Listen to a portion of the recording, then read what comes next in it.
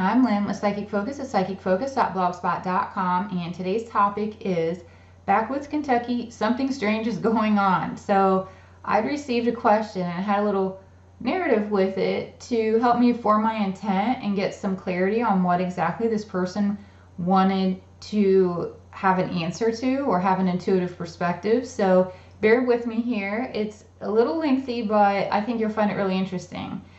So it says, I follow some stories of a similar subject and came across an intriguing story in which your input would be valuable. What's going on in Kentucky? The story involves a woman unexplained encounter while hiking at the Red River Gorge, Kentucky with her husband and friend at night after the park was closed. So the park's closed, they're in there hiking. I'm very open minded, but I don't automatically assume anonymous stories I read on the internet are completely true. In this case, I believe the woman telling the story is telling the truth. She seems sincere, is open to questions and scrutiny, and is consistent in her search to make sense of what happened. I'm going to provide you with a link to the original Reddit post, which describes the full context of the encounter in several paragraphs. I'll also cut and paste the text of the relevant section, which describes the encounter with an unknown being, as well as photos of the sketches she made of the being. So basically, they're hiking after the park's closed and they come across this creature. They're not sure what they saw, um, but they have posted questions out there basically to see if someone knows what it is, maybe someone else has had this encounter and that type of thing. So I just took a small part of her narrative um, and I'll move forward here and read her, and this is quoting her, this is her words. Uh, referring to the hiker. It says, Now we're hiking down a semi flattish area compared to the downhill hike we'd been doing. The long fence or handrail or whatever it's called is on our right side. We're in a row walking within reaching distance of this barrier.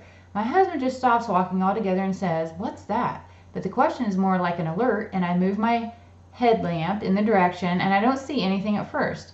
Then both of his lights catch a shape. My headlamp catches it, and I move the headlamp to center and catch it, while my friend simultaneously finds it in her lights as well. All six lights shine onto it, referring to this being, and kind of reflect off of a light gray creature. It's bent and crouching in a position, kneeling on its right leg and starting to turn towards us.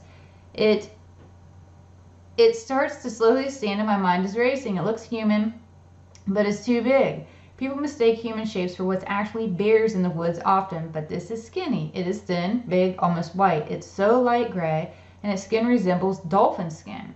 There's a shine to it. Our lights get reflected a little when they're on it. It gradually comes to a full standing position in front of us. Its head is long. Its eyes are in a human position on the face in the front, not on the side like an animal's.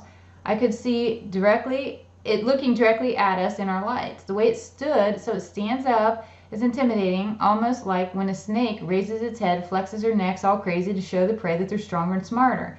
It was like it was stopping stepping up to fight us. From crouching then turning to standing in front of us, the arms hung down low, the hands seemed too long. Um, its hands had to be by its knees. I guess it stood nine feet or so, not that far in front of us, no hair at all, and its head was large as well. I couldn't process what I saw and was frozen.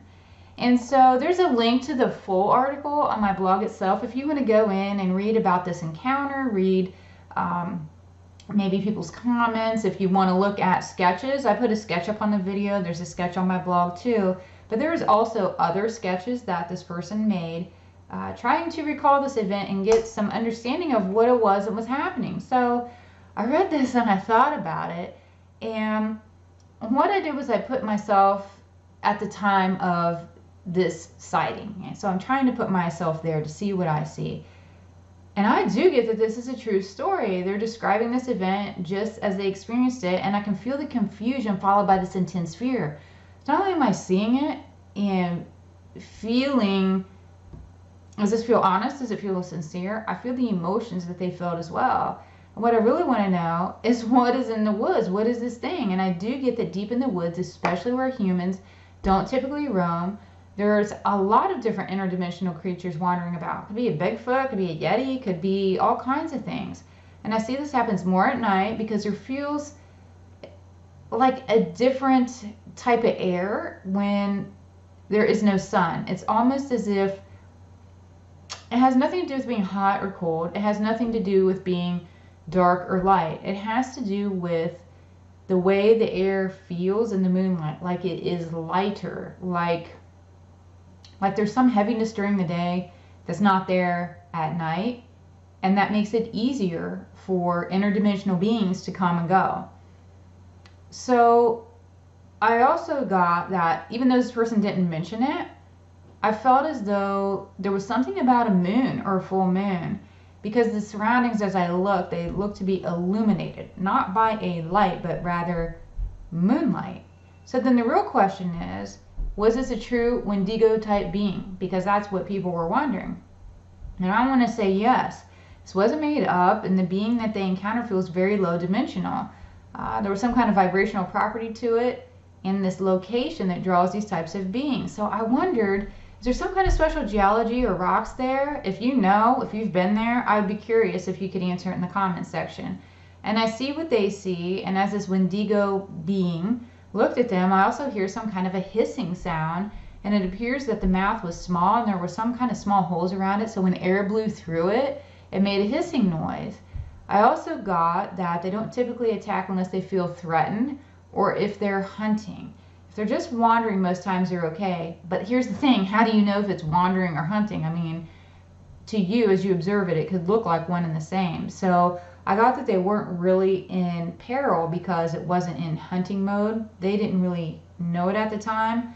Um, so nonetheless, they, they took caution, which is the smart way to approach it. And I also get that these beings hate silver. It burns them. So if you carry it or if you wear it, I heard a message that they can smell it and they try to stay away from you. Um, has nothing to do with vibration. It has to do with some smell that silver gives off. And that was all I was really able to pick up on.